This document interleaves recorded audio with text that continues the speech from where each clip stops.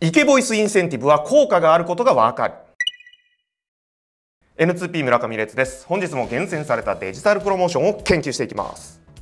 今回ご紹介するのはこちら、マイハダボイスサロン、マイハダ公式オンラインショップです。対象の商品をセットでご購入すると、インセンティブとして声優さんのオリジナルトレカプレゼントや、マイハダボイスサロンに参加ができます。それでは列さん解説お願いします。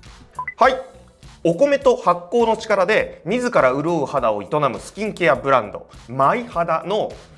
肌順ボアソリューションにおいて津田健次郎さんをはじめとした豪華人気声優3名とのコラボレーションと、まあ、声優×化粧品というコラボレーションになっています。そんなイケボイスの声優さんたちがスキンケア方法を伝授してくれるお肌も気分も満ちていくがコンセプトのキャンペーンマイ肌声色湯どころって読むのかな？米肌ボイスサロンと書いてあるんですけども、まあ、こちらのボイスサロンはですね対象商品を購入すると入手できて米肌のおすすめの使い方などをこう特別音声で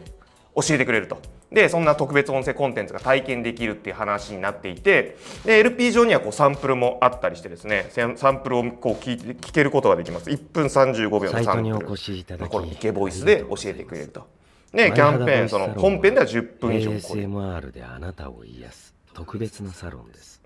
イケボイス。まあ、こんなのが聞けるというところですね。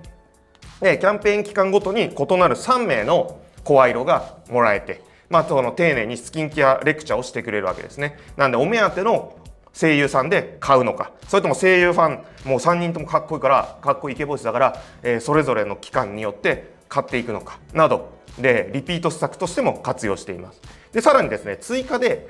定期お届け便っていうのをお申し込みいただいた方には全員に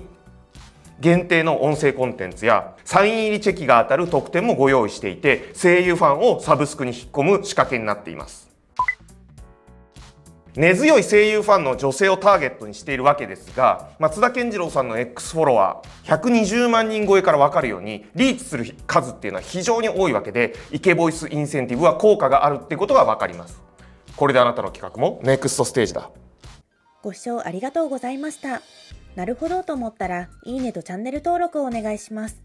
また面白いキャンペーンがあったらコメントで教えてください。現在無料出張勉強会のご依頼を募集しています。詳しくは概要欄をご覧ください。